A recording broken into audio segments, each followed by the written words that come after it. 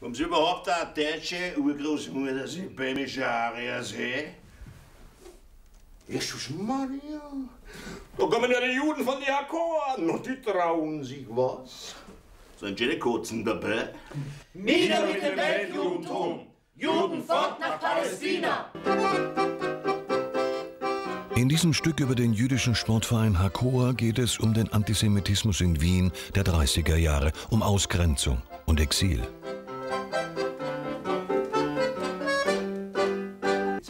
Doch endlich Hirschl. Auch dein Hofrat hat nicht mehr viel zu sagen. Wir wollen heiraten. Heiraten? Aber doch nicht da in Wien. Wohin soll ich gehen? Wer kennen von mir? Wohin soll ich gehen?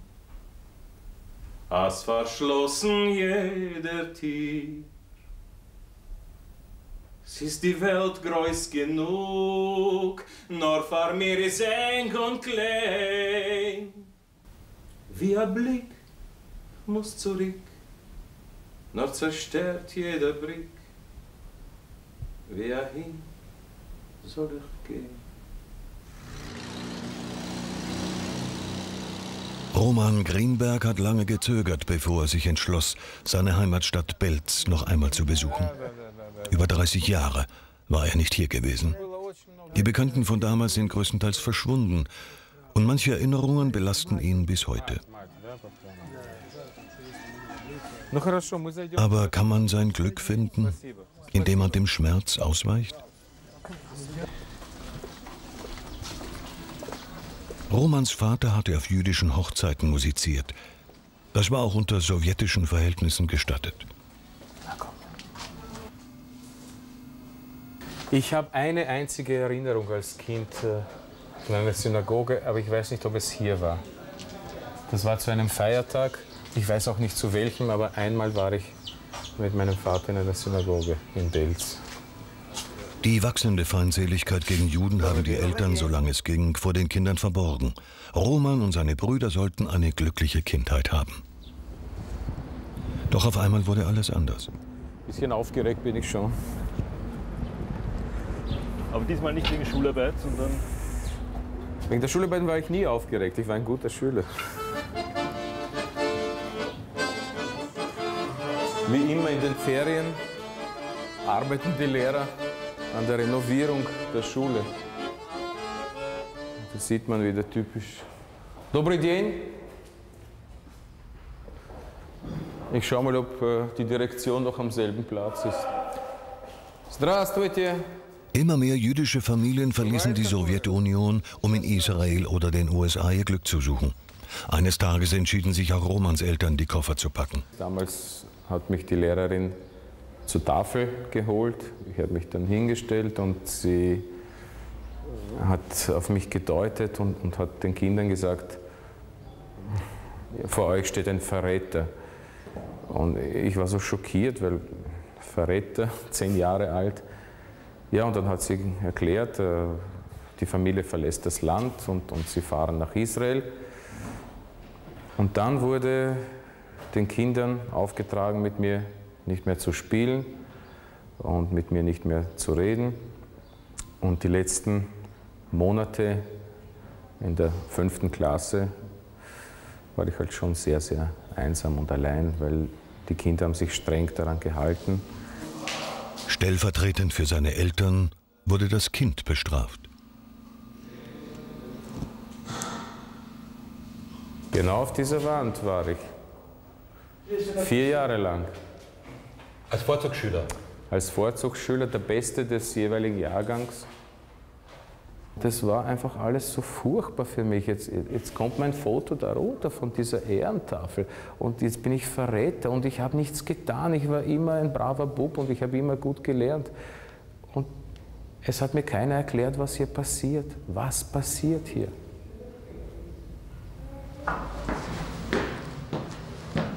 Inzwischen ist es Roman Greenberg gelungen, die Verletzung zu verarbeiten.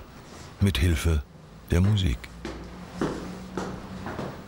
Es ist vielleicht schwierig, äh, nicht sagen zu können, wo die Heimat ist. Aber es hat auch positive Aspekte. Ich fühle mich eigentlich überall zu Hause. Mm. Entschuldigt, weil Arkadi Gendler wird oft um Rat gefragt, in nahezu allen Lebenslagen. Und für jeden hat er ein offenes Ohr. Was immer er tut, er ist ganz dabei. Ob er singt oder sich mit Freunden unterhält. Sehe ich als Sach Menschen, wo sie begegnen nach auf die Seminaren, auf die verschiedenen jüdischen Festivalen, auf die Konzerten. Und jeder einer will von nachher etwas lernen. Und also ich frage die Menschen, was lernt ihr? Sie wissen es viele nicht, sie fühlen es. Wir kennen sich nicht zu teilen. Also durch die Musik und du bin ich.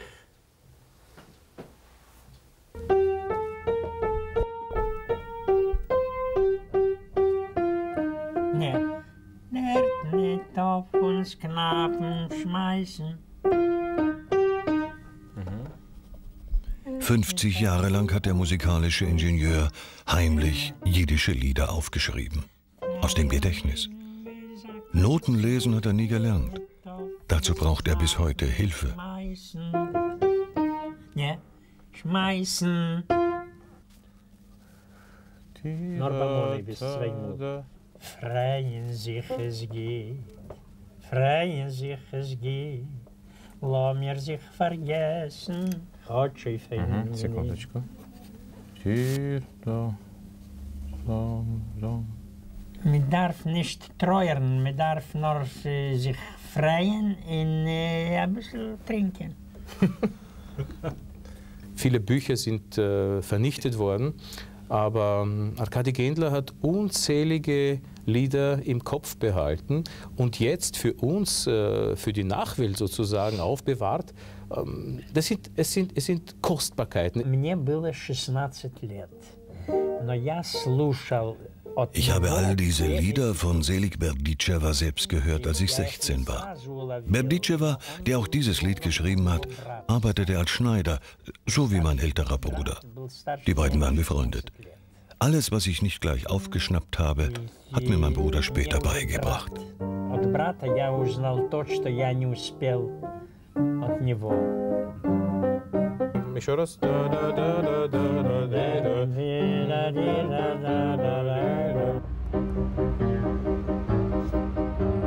Die jiddischen Lieder wurden von armen Leuten geschrieben, von Schneidern, Schustern und Tischlern.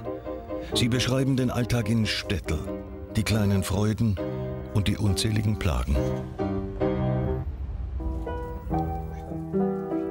Doch die volkstümlichen Dichter mussten darauf achten, die Zensur nicht zu reizen. Deshalb werden Anspielungen auf Gewalt und Unterdrückung oft in fröhliche Geschichten verpackt.